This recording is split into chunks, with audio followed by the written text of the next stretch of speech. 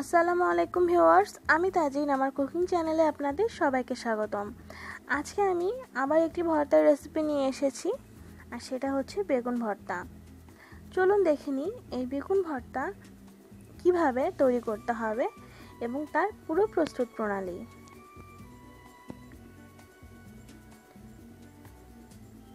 বেগুন ভর্তা তৈরির জন্য আমাদের প্রয়োজন অবশ্যই একটি বেগুন এবং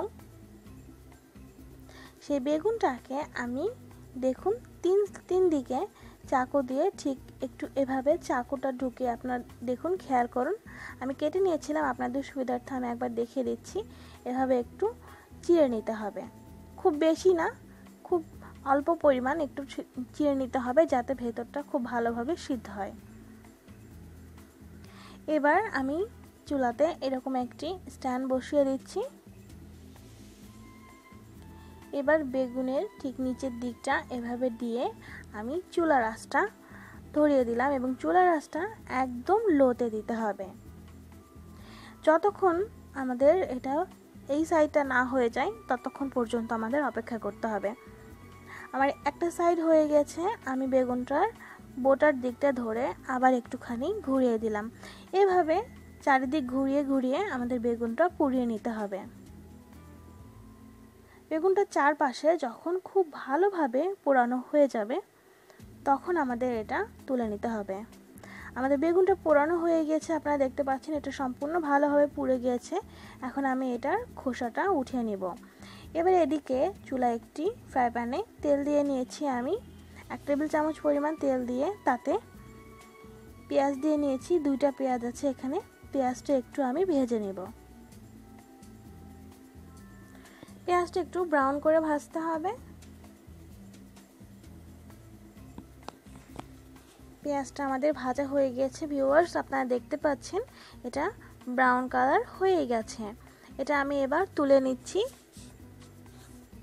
এবার এখানে শুকনো মরিচ ভেজে নেব। শুকনো মরিচ ভাজতে ভাজতে আপনারা বুঝতে পারবেন, একটি টোকা দিলেই একটা ক্রিস্পিনেস আপনারা ফিল করবেন, তখন এটা তুলে নিতে হবে। এদিকে আমি বেগুনের খোসাটা ছাড়িয়ে নিয়েছি এবং দুই টেবিল চামচ পরিমাণ নিয়েছি ধনিয়া পাতা এবং পেঁয়াজ বেরেস্তা। এবার এখানে আমি যেই মরিচটা রেখেছিলাম, সেই মরিচটা ভেঙে নেব। যে যেরকম ঝাল খাবেন, আপনারা ঠিক সেই পরিমাণেই মরিচটা নেবেন। আমি এখানে লবণ দিয়ে মরিচটা ভেঙে নিচ্ছি। লবণের সাথে মরিচটা ভেঙে নিলে কিন্তু খুব সহজেই ভাঙা যায়। এবার এই সমস্ত কিছু আমি একসাথে মাখিয়ে নিচ্ছি।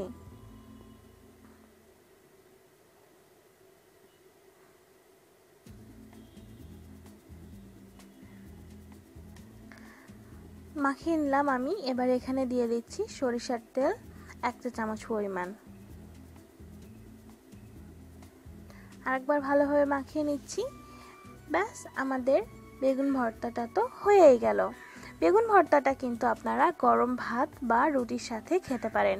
অসম্ভব মজাদার। আপনারা অবশ্যই একদিন ট্রাই করবেন ভিউয়ার্স আশা করছি আপনাদের ভালো লাগবে। অসংখ্য ধন্যবাদ ভিউয়ার্স আমার ভিডিওটি দেখার জন্য। আবার ফিরে আসব অন্য কোনো দিন নতুন কোনো রেসিপি নিয়ে। ততদিন পর্যন্ত ভালো থাকবেন, সুস্থ থাকবেন। আর আমার জন্য দোয়া করবেন। বাই